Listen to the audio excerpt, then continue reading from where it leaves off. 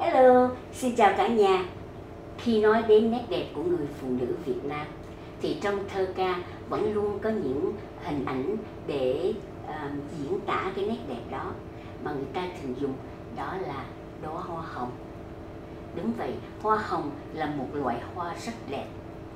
Mùi hương thì lại rất thơm và cái màu sắc thì nó rất là ngọt ngào có thể diễn tả tất cả những cái nét đẹp những cái điều uh, tuyệt vời mà người phụ nữ Việt Nam luôn được trân trọng và luôn được uh, khen ngợi.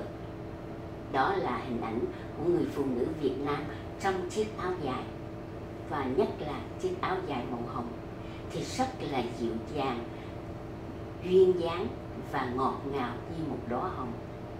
Cho nên mở đầu của một bài hát đã có nói vì nàng đẹp như một bông hồng hôm nay em cảm nhân rất vui để được à, gửi đến cả nhà video ca múa nhạc bóng hồng Việt Nam mà em các quy nhân và các chị em trong nhóm múa duyên dáng Việt Nam tại thành phố Winnipeg, Canada vừa thực hiện xong và video sẽ được chia sẻ trong ngày mai. Rất mong được sự yêu mến và ủng hộ của tất cả mọi người.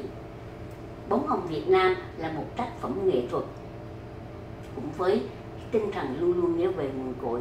Thì em gái Quy Nhơn và các chị em một lần nữa đã thực hiện một video ca múa nhạc rất là dễ thương diễn tả lên được cái nét đẹp duyên dáng dịu dàng và ngọt ngào của những tố hoa hồng mà à, trong ngày mai à, cả nhà sẽ được thưởng thức.